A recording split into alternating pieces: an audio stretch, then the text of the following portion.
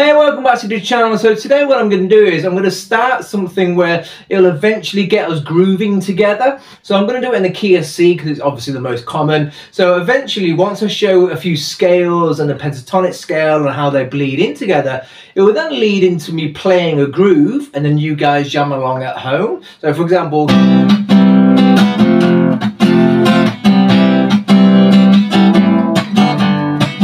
then you jam over the top of it, the scales that I'm going to demonstrate.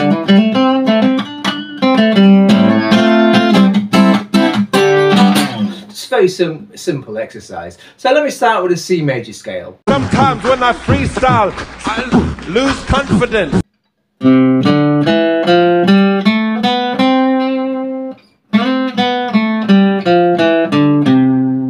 Remember to use uh, good fingering. The way I'll be honest with you, the more you start playing, the less correct fingering you would use. It will just help you strengthen that dexterity in your hand.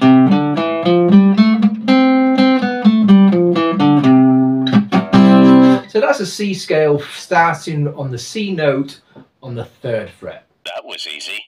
So now we'll do the octave higher. So you've got that C scale with around the third and the fifth fret. So then this one's going to go over here. Can I say That'll go within the pentatonic scale, the A minor slash C. So we'll do the, the, the normal um, register of the C.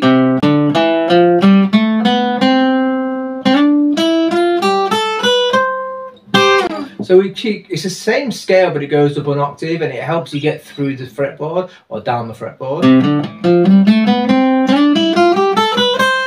Can you see then it bleeds into that pentatonic scale?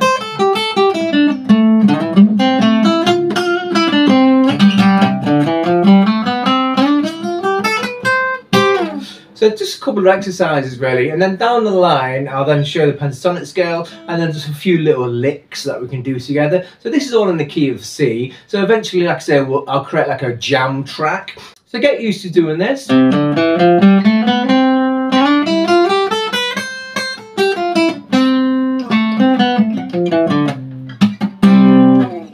So, get practicing and I'll see you soon.